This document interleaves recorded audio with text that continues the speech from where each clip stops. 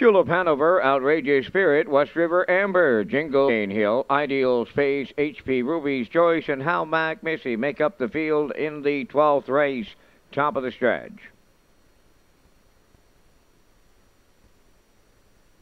Thursday night, and it's finale time at the driving park. Go, they're off and pacing, and Julep Hanover will lead him out. Outrageous Spirit will go to the two hole. Third into the turn, West River Amber.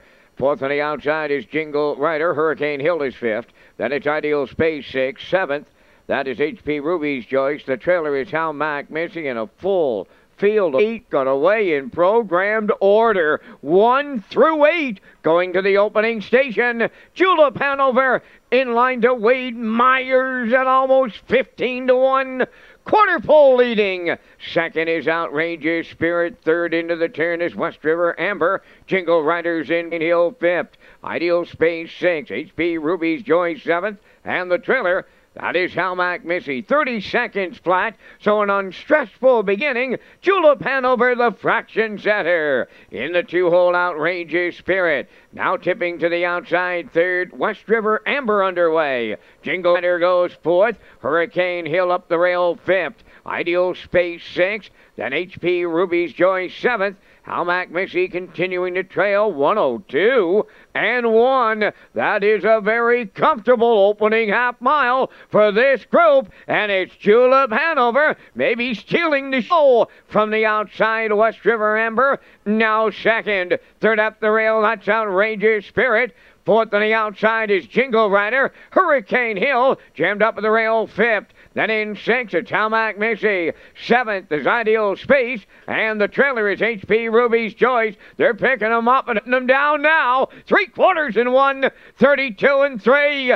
And Julep Hanover still there, trying to upset them from the outside. West River Amber, third towards the rail. Outrageous Spirit. They're in deep stretch now. West River Amber keeps coming. West River Amber getting up late. Off stride on the line was Julep Hanover with outrageous spirit there at the rail. Time for the mile in two minutes. Four fifths under an inquiry.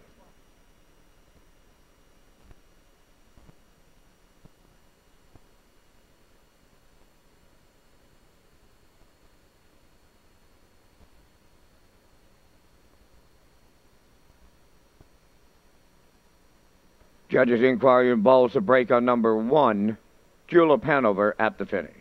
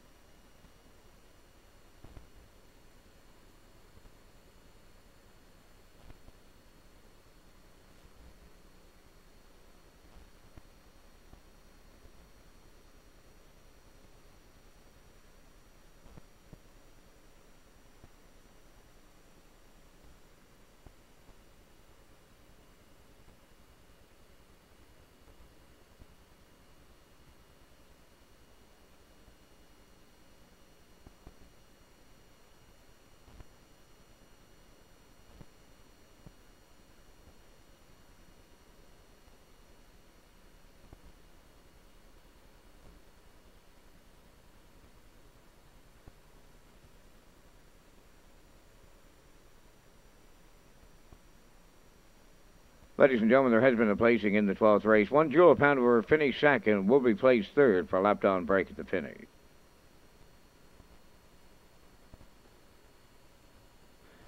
West River Amber makes her way to the 12th race winner's circle, pacing brown mare. She's the four-year-old daughter of Brandon's Cowboy off the drop-off dam. West River Rosie, owned by Haley and Claire McDonald.